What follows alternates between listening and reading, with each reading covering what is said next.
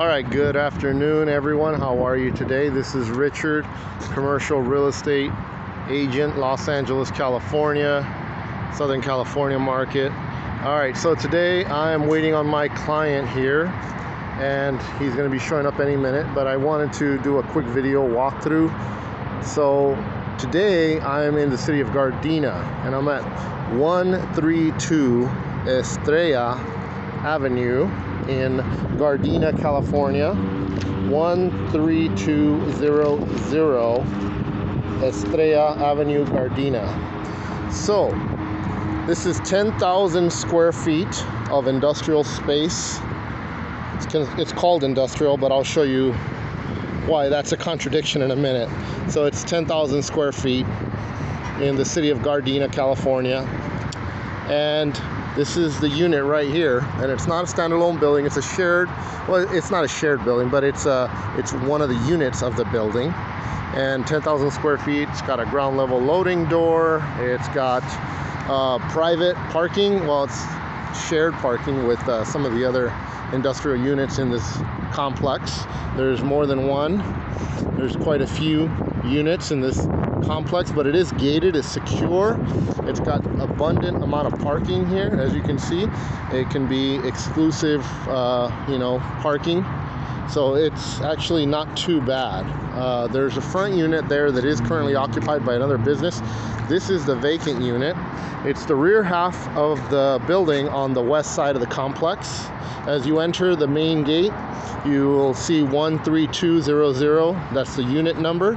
And this is the unit, 10,000 square feet. So, I'm waiting on my client, as I mentioned. Let's go ahead and take a look inside. So, here's the entry, the lobby area here. And it's got enormous amount of office, abundant amount of office, around 4,000 square feet of office. This was a showroom of some type with the special lighting decor here. It's got carpet. It's a tilt-up constructed warehouse industrial building. Carpet flooring, fresh paint on the walls, multiple offices, air conditioning, fire sprinkler system, it's got the HVAC, everything. Over here looks like it was maybe a break room or security room.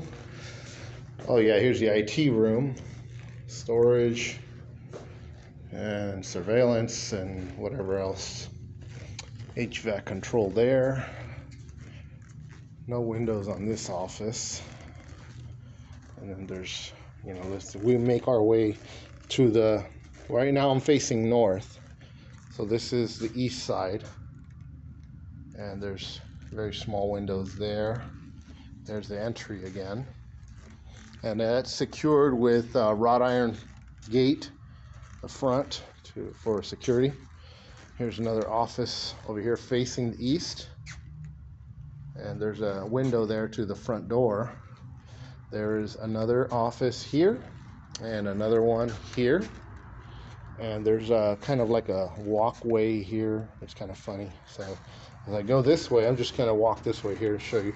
This is emergency exit route. Uh, has fire extinguishers as you can see another office here. And this office has a window into the warehouse. This is another office over here that has also a window to the warehouse and also has a window into the reception area into the main bullpen area they would call it Here's another office with a window to the warehouse and another window into the bullpen area. So this is what I call the bullpen area because it's large and usually they put a bunch of desks in here and people so just sit them all together in here. All right, so here's the warehouse. It's got great ceiling height, fantastic ceiling height actually. Tilt up construction so it stays nice and cool. And in California today, we're you know we're getting up there in temperature. It's uh, around 88, 85, and it's very very nice in here because of the concrete you know walls and the uh, tinfoil insulation, high ceilings, natural skylights. So you've got a, a lot of abundant lighting. You've got great ceiling height. You do have these pillars that support the ceiling, so they're not really able to be removed, but you know, they do cause a little bit of a, well, flow disruption, I would call it, but overall, you can get around that area easily with a forklift. Fire sprinkler system, electrical outlets there, and uh, that's where the dividing wall is between the front unit and this unit. So it's two units in this building at 13200 Estrella Avenue in Gardena. And over here is a warehouse restroom. And this is a hallway back into the office area. And here, I'm going to turn on the light. Oh, that wasn't good. All right, so we got a restroom in here. We got another restroom in here. And then we have another, like a break room, it looks like, of some kind. Can't find the lights in here, so I can't see anything. So, another room in here. So, this is another office room. It's got so much office. Um, but this can be a big plus. And here's a kitchen area, like a little break room, kind of nice. Not too bad. All right. And we're back into the office area here. And right back where we started, there's a front entrance. And this is the hallway back into the warehouse. So it's about 6,000 square feet of warehouse and about 4,000 square feet of office.